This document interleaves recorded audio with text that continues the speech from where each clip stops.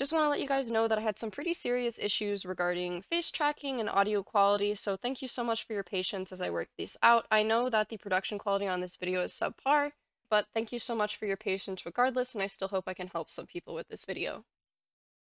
Hi, it's been a while since I've made any sort of tutorial or video, so forgive me for being rusty, but today I'm going to go over matcaps. What are they, how to use them, and why they could be important for optimizing your avatars and making them look great inside of VRChat. So first I'm going to go over what matcaps or material captures are, and then I'm going to walk you through how to use them inside of various shaders inside of Unity. So in its simplest terms, a matcap is basically just an image that defines the lighting, shading, texture, everything for your object. It's great for simple materials or materials that you're not going to scrutinize too heavily, especially when you need to optimize. So for example, because the VTubing software I have does not allow for certain types of materials, I'm faking a lot of metallic and plastic and cloth textures right now on this avatar using matcaps. So a great way to understand how exactly matcaps work is to look at Blender. So you'll notice that I've got a couple of different objects in my scene right now. I've got a version of my avatar, a version of another avatar I've created, and then some basic uh, shapes.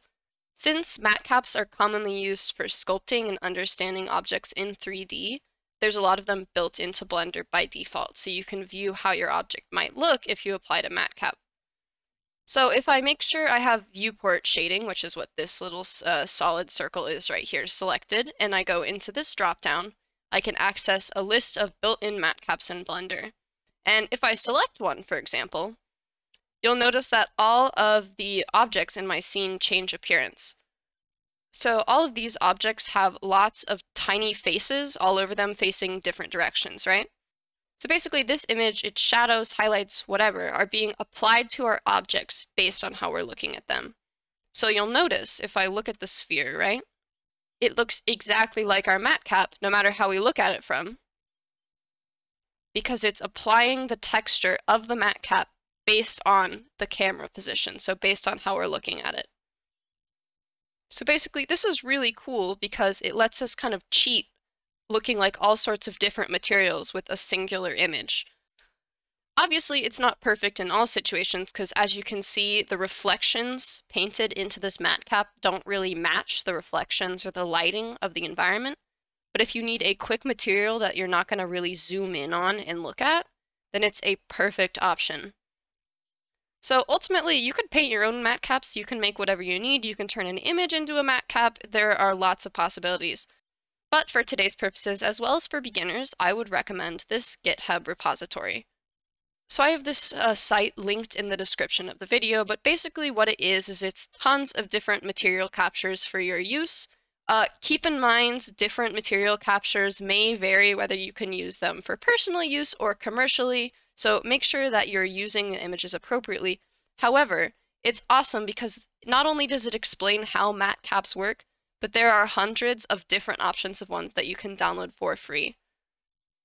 So I'm going to be downloading some of the matcaps from this site for today, and I'm going to show you how to apply them to different shaders inside of Unity.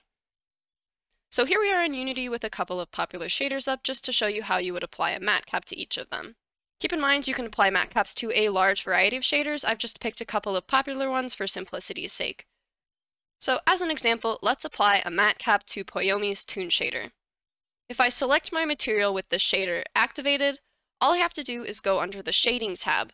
There you will see different options for matcap that you can check. The reason there's an option to have more than one matcap within one shader is so you can section off different parts of your model to look different while still being contained within that one shader. This is a great way to optimize your models and reduce the amount of shaders and materials that you have. But for today, I'm just going to open up matcap 0, drag whichever matcap I want into the slot, and that's it.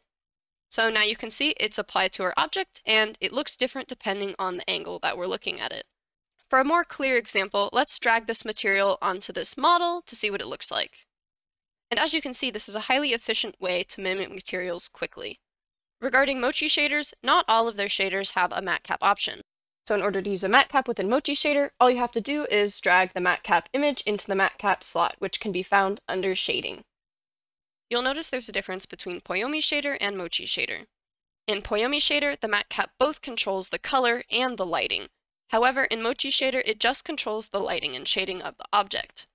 This is extremely useful because it allows you to mix and match texture and shading effects. So for example, I could have it look like it has stripes, but also be shiny or rough at the same time.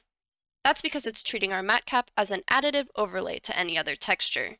If you're planning on putting your material on a Quest avatar, you still have the option to use matcaps. When you start a project with the VRChat Creator Companion or you import the VRChat SDK, VRChat will offer you built-in shaders. This shader is called VRChat Mobile MatCap Lit. Just like our other shaders, we have the option to drag in a matcap. That despite the fact that one of these shaders is for PC and the other is for Quest, they look nearly identical. This is another strong point of matcaps, as they look basically the same across all platforms. The last shader that I'm going to go over today is MToon. MToon isn't commonly used inside of VRChat, however, it is used in most VTubing applications. If you want to achieve a shiny or metallic effect in MToon, matcaps are one of the few ways to do it. In order to apply a matcap cap to MToon, we need to change the edit mode from basic to advanced. Now, if you scroll down, you have an option to apply a matcap for the rim lighting of your object. The change wasn't very obvious on our cube, mostly because it's an object with pretty flat faces. However, look at the difference between these two objects. The model on the right is using a matcap where the model on the left is not. Because these objects have a lot more curvature, it's much more obvious which one is using a matcap and which one is not. MToon is very similar to Mochi's shader in that you can change the underlying texture and also use a matcap at the same time. Just like Mochi Shader, I can keep the shiny effect from the matcap while changing the underlying base color. All of the shaders as well as the source for matcaps that I used in this video will be linked in the description. If you liked the base model that I used for demonstration in this video, you can actually find it for sale on my booth. The avatar base is optimized, fully set up for VRChat, and it has all sorts of different blend shapes where you can change the body size, type, fingernail length, all sorts of fun expressions and other ways to express yourself. It's 1,000 yen, which is about 7 US dollars at this time, and making purchases at my store is a great way to support me while also rewarding yourself with something special. Thank you so much for taking the time out of your day to watch my tutorial about matcaps or material captures.